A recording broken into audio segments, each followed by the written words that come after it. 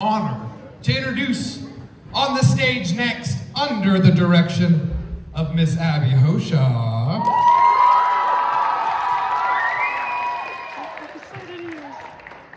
With choreography by Megan Munter and Rysand Martin.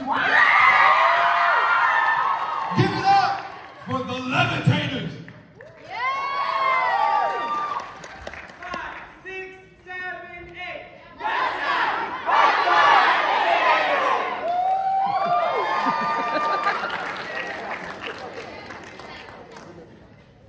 done. He's gonna live. He's all in.